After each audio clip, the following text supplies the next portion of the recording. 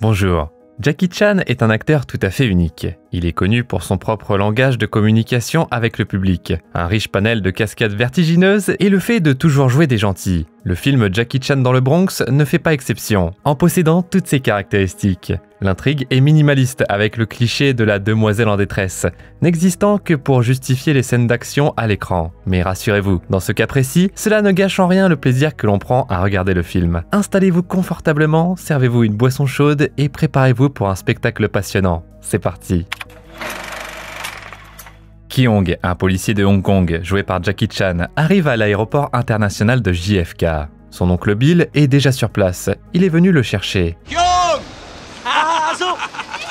Il monte dans la voiture et discute en chemin. Bill remercie son neveu d'avoir accepté de venir une semaine. Le trajet se termine dans le Bronx, le quartier de New York où la criminalité règne. C'est là que Bill a ouvert son propre magasin. L'oncle amène son neveu dans son immense appartement. Il lui montre des photos de la famille, avec le père de Kyong parmi elles. Puis, un mannequin d'arts martiaux en bois attire l'attention du jeune homme. Bill ne s'est pas entraîné depuis longtemps et lui dit que ça appartenait à son frère.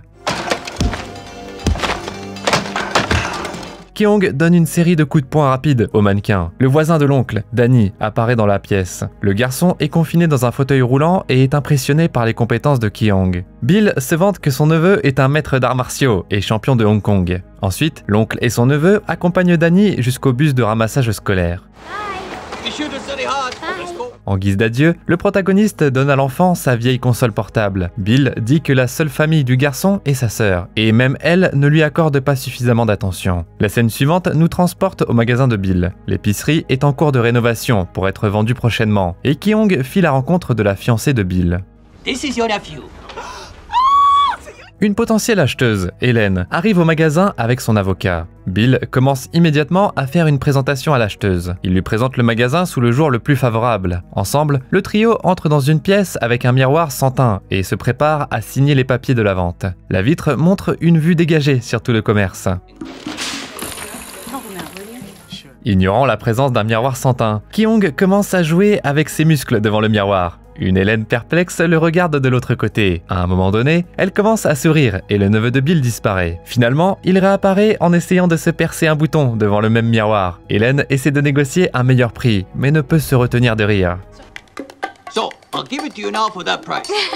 Puisque Bill et l'avocat sont assis dos au miroir sans teint, ils ne voient pas ce qui se passe derrière et poursuivent leur conversation professionnelle. Le prix annoncé efface le sourire d'Hélène et elle demande une réduction de 20%. L'oncle promet de trouver une solution. Finalement, ils se mettent d'accord et Kyong entre dans la pièce et remarque la vitre sans teint. Hélène ne manque pas de se moquer de lui. À la fin, elle signe les papiers, et Bill parle à une connaissance et lui emprunte une voiture de luxe blanche pour la cérémonie. Il invite l'acheteuse et l'avocat au mariage, qui aura lieu le lendemain. Le film nous montre ensuite une bande de motards sillonnant les rues du Bronx. Ils passent sous les fenêtres de Bill et réveillent Kyong. Celui-ci se lève pour aller fermer la fenêtre et s'aperçoit qu'une confrontation entre deux gangs est en train d'éclater juste à côté de la voiture louée par son oncle. Deux filles des gangs rivaux commencent une course à moto jusqu'au bout de la rue. Elles sautent ensuite sur les toits des voitures et continuent leur course au sommet des voitures. Voyant cela, le héros tente de réveiller son oncle, mais celui-ci dort profondément. Kyong décide alors d'agir seul. Il descend rapidement par l'escalier de secours. Il bloque maladroitement la route d'une des motardes et l'empêche de rouler sur la voiture de l'ami de son oncle. À cause de l'intervention de Kyong, la jeune fille perd la course et veut se venger. Mais à ce moment précis, la police apparaît.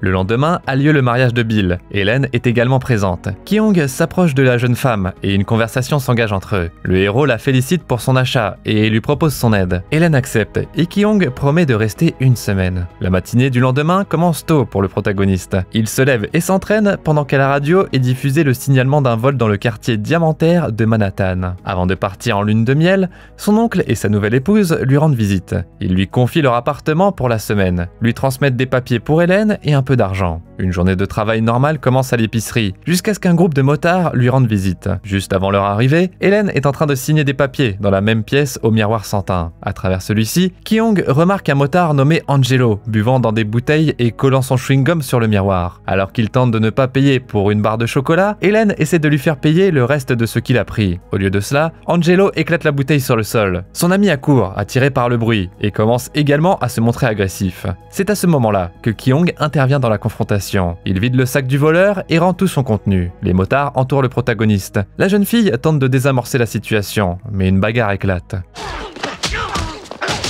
Kyung s'occupe méthodiquement de toute la bande. Ce faisant, il évite d'être poignardé, dans la plus pure tradition des films d'action de Hong Kong. Finalement, il casse le nez d'Angelo, et l'homme et ses complices quittent le magasin, effrayés. Kyung force le motard asiatique à s'excuser auprès d'Hélène et le punit pour son vol.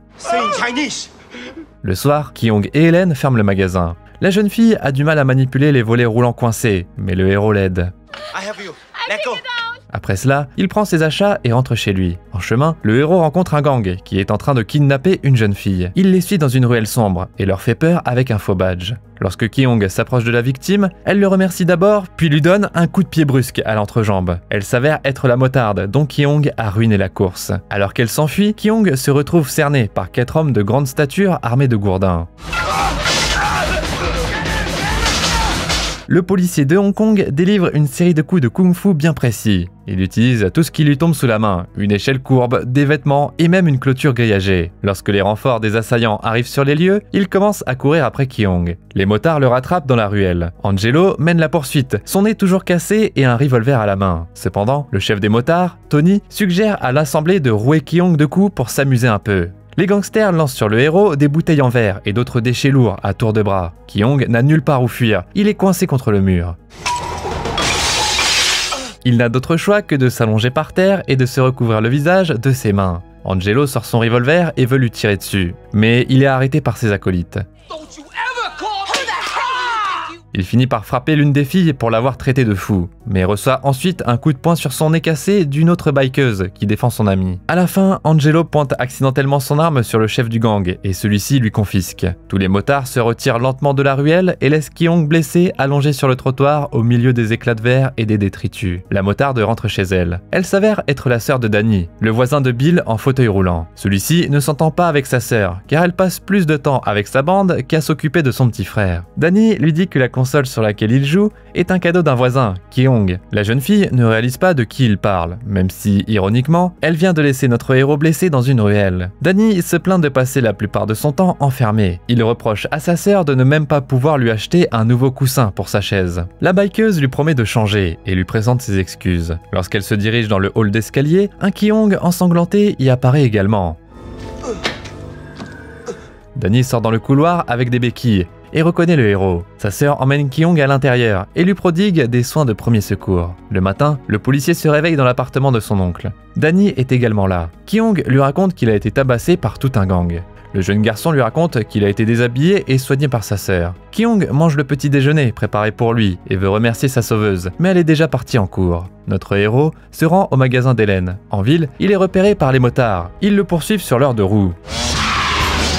Kyung s'échappe en rentrant dans un café, mais les gangsters l'y suivent. Il renverse les meubles, de la nourriture et tout un stand de popcorn. Finalement, le policier s'engage dans une ruelle et escalade une clôture pour se cacher dans un parking couvert. C'est là que le gang arrive aussi. Kyung court à travers les étages du parking. Il se cache intelligemment derrière un mur et fait descendre les deux premiers ennemis de leur moto. À ce moment, les six autres poursuivants, dont trois à moto, le rattrapent. Ils acculent le héros dans un coin. Celui-ci se retrouve dos au grillage d'un des étages du parking. Ne voyant aucune autre issue, Kyung choisit d'escalader l'extérieur du bâtiment et grimpe jusqu'au toit comme Spider-Man. Il atteint le toit en quelques minutes. Là, il se cache dans un camion rempli de balles colorées et demande au chauffeur de ne pas le livrer au gang pendant que des motards rôdent. Mais le chauffeur le trahit. Il quitte le camion et révèle la cachette de Kyung. Les gangsters décident de pousser le héros du toit alors qu'il se trouve encore dans le camion. Au tout dernier moment, Kyung s'extirpe du véhicule par le toit ouvert. Le camion s'écrase sur le trottoir dans un bruit sourd. Les balles se dispersent tout autour. Pendant ce temps, les motards retrouvent Kyung. Ils l'amènent au bord du toit. Angelo lui propose un marché. Le policier doit l'embrasser sur les fesses, et le gangster lui promet de le laisser partir. Mais le héros a une autre idée en tête. Il arrache une longue antenne d'une voiture voisine et fouette allègrement le voyou. Pendant que le reste de la banderie, le héros leur lance son arme de fortune et saute par-dessus un abîme de 8 mètres jusqu'à un bâtiment voisin.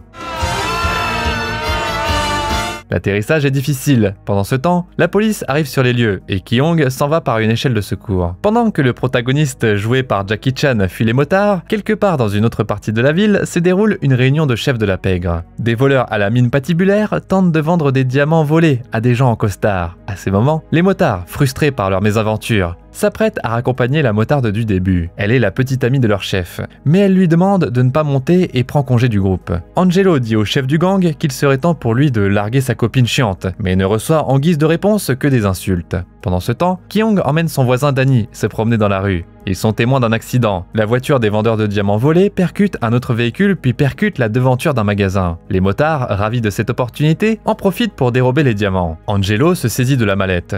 Les acheteurs arrivent sur les lieux, descendent de leur limousine et commencent à faire feu. Kyung emmène Danny se cacher dans le bâtiment le plus proche. Les hommes en costard ouvrent la portière de la voiture des vendeurs et lancent une grenade au gangster inconscient. Ensuite, ils remontent dans leur limousine noire et repartent rapidement. Angelo emmène la mallette dans l'un des bâtiments et découvre qu'il a volé des diamants, que les costards cherchaient à obtenir. Les criminels étaient apparemment en route pour récupérer le reste des bijoux lorsqu'ils ont eu cet accident. Cette découverte excite énormément le motard, mais à ce moment-là, les hommes en noir réapparaissent et ouvrent le feu. Angelo attrape les diamants et se précipite dans un bâtiment au hasard. C'est le même bâtiment où Kyung se cache avec Danny. Lorsque le policier entendait pas, il soulève le garçon de sa chaise roulante et le porte jusqu'à un endroit sûr. Le fauteuil roulant est abandonné dans les escaliers. Angelo décide d'y cacher son butin, car les criminels sont à la recherche du contenu de la mallette. Ils attrapent Angelo et le fouillent sous la menace d'une arme. Surpris par l'arrivée de la police, les costards lâchent leurs armes et laissent partir Angelo. Kyung saisit ce bref moment de répit pour récupérer le fauteuil roulant et ramener Danny dans l'appartement. Il n'est pas au courant des diamants cachés dans le vieux coussin. Les flics arrivent et arrêtent tout le monde dans les escaliers. Angelo et deux des acheteurs des bijoux volés. Kyung ramène Danny à la maison. Sa sœur est aussi là. Elle se cache de lui parce qu'elle a peur qu'il la reconnaisse. Sur la table en face de Danny se trouve un nouveau coussin pour son fauteuil roulant. Sa sœur l'a acheté pour remplacer l'ancien. Danny parle à Kyung de sa sœur, mais lui dit qu'elle travaille comme hôtesse de l'air et modèle photo. La jeune fille, cachée derrière un mur, entend tout cela. Danny admet que vivre avec un handicap est difficile pour lui, surtout quand il voit des enfants en bonne santé dans le parc, et sent qu'il ne peut pas jouer comme eux. Le policier installe le nouveau coussin sur le fauteuil roulant pendant que Danny lui raconte à quel point il est triste de ne pas pouvoir s'occuper correctement de sa sœur. À ce moment-là, la bikeuse n'en peut plus et sort de sa cachette. And I wouldn't have to worry about her. Elle s'appelle Nancy. Kyung la reconnaît instantanément, mais lui pardonne et lui demande d'oublier le passé. Danny est surpris que son nouvel ami connaisse déjà sa sœur. Kyung lui explique qu'il l'a croisée dans l'escalier l'autre jour. Il prend le jeune garçon dans ses bras et l'installe dans le fauteuil roulant sur le nouveau coussin. Avec son pied, Kyung pousse accidentellement le vieux coussin, renfermant les bijoux volés sous le canapé. Nancy et le flic regardent Danny pendant que celui-ci se réjouit du nouvel accessoire. Pendant ce temps, Angelo est en train de se faire interroger au commissariat. Mais les flics n'ont rien de concret à lui reprocher. Le motard fait l'idiot et se fait passer pour un touriste. Les gars en costard sont interrogés dans la pièce voisine. Cependant, les policiers ne peuvent pas rassembler toutes les informations. Ils ont un pistolet sans empreinte, une mallette vide et une liste de bijoux manquants. L'explosion de la grenade dans la voiture déclenchée par les costards a effacé tous les indices. Les flics soupçonnent que les hommes qu'ils ont arrêtés ont quelque chose à voir avec le vol dont Kyung a entendu parler à la radio. Pendant ce temps, les avocats font libérer les acheteurs des diamants du commissariat. Les détectives ne peuvent que regarder avec déception la limousine s'en aller. Ils libèrent Angelo pour le surveiller. Cette nuit-là, le motard tente de retrouver les diamants volés. Les costards sont également à leur recherche, lorsque Kyung les croise dans les escaliers. Ils se présentent comme des agents du FBI. Les hommes remettent au héros leur carte de visite, au cas où il serait témoin de quelque chose de suspect, et le laissent partir. Au même moment, une fête se déroule dans le Bronx, où la jeunesse locale s'amuse. Kyung s'y rend également. Il retrouve sa nouvelle connaissance, Nancy, dans une cage. Elle danse dans une tenue très osée, tandis que de vrais tigres se meuvent autour d'elle. Nancy remarque Kyung et lui fait signe. Elle continue de danser, tandis que ses amis motards, emmenés par Tony, arrivent dans l'établissement. Les membres du gang discutent de l'arrestation et de la libération d'Angelo, puis partent à la recherche de Nancy. Pendant ce temps, elle s'assoit à une table avec Kyung pour prendre un verre. Il l'interroge avec tact sur son travail, lorsque les deux jeunes gens sont repérés par l'un des membres du gang. Nancy prend le flic par le bras et tente de s'enfuir. Dans la ruelle, elle renverse volontairement les motos de ses copains. Ensemble, le couple saute sur la dernière moto et part en tromble. Les gangsters n'arrivent pas à les rattraper. Kyong conseille à Nancy de quitter le gang et de passer plus de temps avec son frère. Elle serre notre héros dans ses bras et l'embrasse avec en toile de fond la ville endormie. Le lendemain matin, les motards font irruption dans le magasin d'Hélène. Ils saccagent l'endroit à la recherche de Kyong. Dans le feu de l'action, les costards attrapent deux des membres du gang et les jettent dans le coffre de leur limousine. Hélène, impuissante, regarde son entreprise se faire saccager. Au même moment, Kyong, qui ne se doute de rien, est dans un parc avec Danny et Nancy. Le trio passe un bon moment. Ils sont surveillés par Angelo, qui s'est déguisé avec des vêtements méconnaissables. Il attend un moment opportun, alors que les adultes vont chercher des glaces. Il pousse le garçon à terre et lui arrache son coussin. N'y trouvant aucun bijou, le motard jette le coussin et s'enfuit. Pendant ce temps, les motards kidnappés se font torturer par les costards. Ils poussent l'un des deux hommes dans une déchiqueteuse à bois, mais n'apprennent rien de plus concernant les bijoux volés. En sortant du parc, Kyung se rend au magasin d'Hélène. Les motards l'ont complètement saccagé. La propriétaire, attristée, reproche au policier de ne pas avoir été là, alors que Kyung avait promis de l'aider pendant une semaine. Elle l'accuse également d'être amoureux de la petite amie d'un chef de gang local. C'est pour ça que les voyous se sont pointés au magasin d'Hélène. Ils cherchaient Kyung et voulaient se venger. Le policier part à la recherche de Tony. Nancy l'emmène au QG des motards. Kyung s'introduit par effraction dans l'une des caravanes, trouve le chef du gang et ses associés et commence à se battre. You are! Le policier fracasse leur chaîne stéréo contre une table de billard. Au début, une seule bouteille lui vole dessus. Puis les voyous commencent à l'attaquer en masse. La bagarre est interrompue par Tony, qui tire des coups de feu dans le plafond. Au début, il veut tirer sur Kyung, mais ensuite, il remarque Nancy, qui entre dans la pièce, laisse tomber son arme et décide de faire le beau devant son ex-petite amie. Tony pense qu'il peut battre le protagoniste au corps à corps. Dans un face-à-face spectaculaire, Kyung jette le chef des motards dans une machine à sous. À ce moment-là, les autres rejoignent également le combat. Le policier délivre méthodiquement coup sur coup et utilise intelligemment les objets qui l'entourent. Bouteilles, tables, machines à sous et même des skis. Le combat est interrompu par d'autres coups de feu tirés par Tony. Le patron dit que Kyung a gagné et qu'il peut partir. Mais au lieu de cela, le policier prononce un discours sur les gangsters qui gâchent leur vie en vivant comme des ordures. Le héros quitte le repère des motards et prononce en guise de départ une phrase pacifiste en chinois. 而系大家一齐咁炸。 Nancy court après Kyung et dit au gang qu'il a raison. À ce moment-là, l'un des gars qui ont été kidnappés par les costards entre dans la pièce. Il porte un sac poubelle à la main et demande de l'aide. Le sac s'avère contenir un lens en morceaux, l'un des membres du gang. Le survivant révèle que si les motards ne rendent pas ce que Angelo a volé, le même sort leur arrive à tous.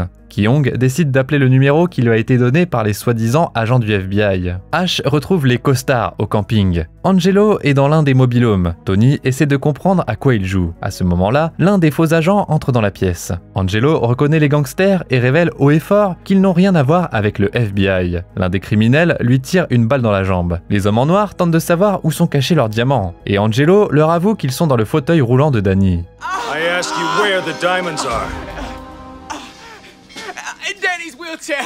Les gangsters pointent leurs armes sur Nancy, Tony et notre héros. Kyung dit qu'il sait où se trouvent les pierres précieuses. Les costards kidnappent le protagoniste et partent avec lui. Les criminels arrivent chez Danny, détruisent son nouveau coussin et traitent également le garçon lui-même avec violence. Lorsque Kyung tente de s'opposer à eux, il reçoit immédiatement un coup de poing au visage. Un autre coup de poing lui est asséné, alors que les gangsters ne retrouvent rien dans le nouveau coussin. En voyant cela, Danny leur dit que les diamants sont cachés dans la chambre de sa sœur. L'un des voyous attrape le gamin et l'emmène. Mais tout ce qu'il trouve dans la chambre de Nancy, ce sont des bijoux fantaisie. Cela rend le voyou furieux et il s'en prend au garçon. À ce moment, Kyung remarque le vieux coussin de Danny qui a glissé sous le canapé, ainsi que la béquille posée à côté. Sous la menace d'une arme, il récupère sa trouvaille mais assomme soudainement l'un des criminels. Le héros arrache l'arme des mains de son agresseur, saute sur le canapé, menace de son arme le deuxième gangster et lui prescrit une dose de châtiment corporel. Danny l'aide en lui lançant des objets utiles comme un casque de football ou encore une clé à molette. Kyong attache les voyous. Le garçon appelle la police, mais les policiers tardent à répondre. L'un des téléphones portables des criminels sonne. Kyong y répond et se fait passer pour un des voyous. La voix à l'autre bout du fil demande où sont ses diamants et ordonne d'éliminer tous les témoins. You want to kill me? Who the hell is this?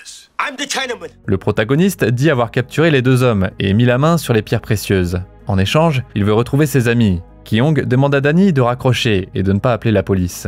Le chef des costards promet de lui dire quoi faire. Kyong envoie le garçon à l'école dans un taxi. À ce moment-là, les motards capturés sont impitoyablement battus sous la menace d'une arme par les costards. Tony est battu le plus sévèrement. Il lui demande où Kyong aurait pu aller. Les chefs du gang disent que l'homme que les gangsters recherchent travaille à l'épicerie d'Hélène. À l'intérieur du magasin, les réparations viennent d'être terminées. Le policier arrive sur place pour avertir la propriétaire du danger imminent. Il lui montre les diamants et lui demande de l'aide pour attraper les méchants. Les costards se rendent au magasin et appellent Kyong. Ils veulent que le héros se montre. Une fois découvert, Kyong se rend compte que les criminels ont placé des chaînes reliées à une dépanneuse à l'extérieur à de nombreux points stratégiques de l'épicerie. Ils sont prêts à tout détruire sur un seul ordre de leur chef. Le policier tente d'avertir Hélène, mais la jeune fille ne l'écoute pas. À ce moment-là, le magasin commence à s'effondrer sous leurs yeux.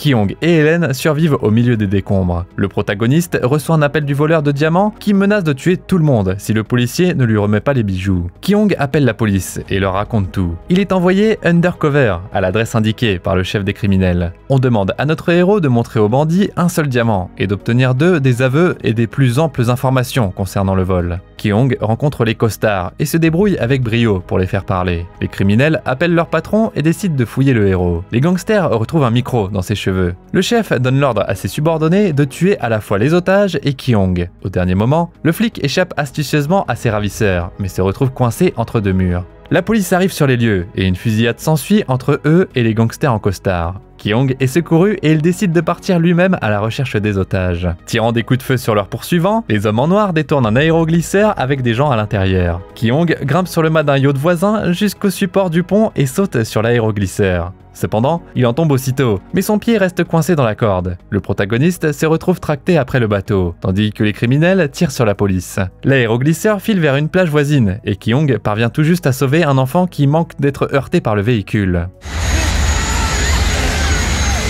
Les gangsters tentent de lui passer dessus, mais ne font qu'enfoncer le policier dans le sable mou. La course-poursuite se poursuit dans la ville, l'aéroglisseur filant à toute vitesse sur la chaussée. Kyong monte dans une voiture de sport, récupère une épée dans un magasin d'antiquités et part sauver ses amis. Sortant son arme sur le côté, il perce la bouée et force le navire à s'arrêter. Kyong saute à l'intérieur, arrache une arme à l'un des ennemis et menace les gangsters. La police arrive sur les lieux et l'un des costards révèle des informations sur le sort des otages. Ceux-ci sont secourus et Kyong est autorisé à mener une opération pour capturer le chef du gang. La bouée est réparée et le héros et ses amis montent à bord de l'aéroglisseur. Ensemble, ils se rendent au Country Club et rattrapent le méchant principal appelé le Tigre Blanc. Il passe juste au-dessus de lui et laisse le vieil homme sans vêtements.